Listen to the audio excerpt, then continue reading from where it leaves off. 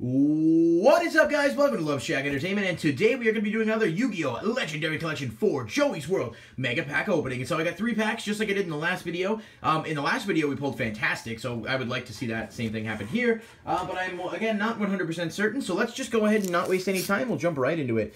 I'd like to get a Raigeki, uh, or another Ultra Imperial Iron Wall. Uh, Harpy's Feather Duster is always good. These are taped at the top, and that's really annoying, actually.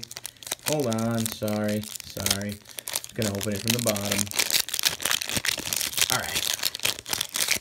Let's go ahead and see. We got Ancient Tool, not bad. Seismic Shockwave, Gravekeeper's Vassal, a rare Gravekeeper's Visionary, ultra rare Harpy's Pet Dragon. That's always a good, uh, good uh, pull, even if it's not worth too much. Secret rare Dark World Lightning. Oh, speaking of not good pulls, uh, Call of the Mummy, Despair from the Dark, and Babycerasaurus. Harpy's Pet Dragon. At one point, it was a very expensive card, actually. Pretty cool. I guess I'm on my way to getting all the Harpy stuff then. Let's go back number two. Might as well go ahead and get a uh, Harpy Dancer, Channeler, whichever one that is, uh, in the next pack. Soul Absorbing Bone Tower, Brachioraidus, Red Eyes Zombie Dragon, Ultra Rare Dunames Dark Witch, Secret Rare Goldd Wu Lord of Dark World, and Super Rare Polymerization. That's not bad. Dungeon Worm, Launcher Spider, the Warrior Returning Alive. Polymerization is always movable. Almost always, anyway, so really good pull, I guess. It's not terrible.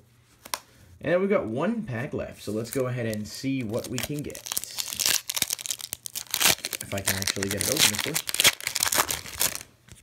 So, we've got Slot Machine, Kazejin, A Deal with the Dark Ruler, Ultra Rare Book of Life, uh, Secret Rare Snoww Unlight of Dark World, Super Rare Harpy Lady, Gravekeeper's Curse, Labyrinth Tank, and Snipe Hunter. That last one was kind of lackluster, and the other uh, opening was just better in general, but either way, not too, too bad. And we did get two really cool pulls uh, with the Super Rare Polymerization and Harpy's Pet Dragon, so it's not bad. And, um, yeah, it's Joey's World, so whatever. Thank you guys, though, for checking out this video. If you did like it, please leave a like, comment, subscribe down below, and we will see you next time right here. Love Shack Entertainment. Bye-bye.